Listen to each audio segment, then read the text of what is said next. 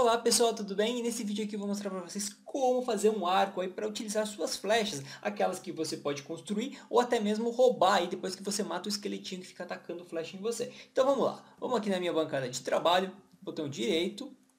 Para fazer o arco, pessoal, que permite ataque à distância utilizando flechas, a gente vai fazer o que? Vai, vai precisar de três gravetos, tá? E vamos colocar nessa seguinte posição. Aqui, aqui no formato de um arco. E também linha você vai precisar de três linhas. A gente está com quatro aqui, três linhas. Pronto. A gente tem aqui o nosso arco. Lembrando que a linha você pode conseguir matando uma aranha. E pronto. Eu aqui consegui flecha matando aquele esqueleto que fica atacando as flechas e a linha matando as aranhas, tá ok? Abração pessoal e até o próximo vídeo. Tchau, tchau! Gostou desse vídeo e deseja ser avisado quando um novo vídeo for publicado aqui no canal? Então é muito simples. Clique no botão inscreva-se logo abaixo do vídeo e depois nessa engrenagemzinha.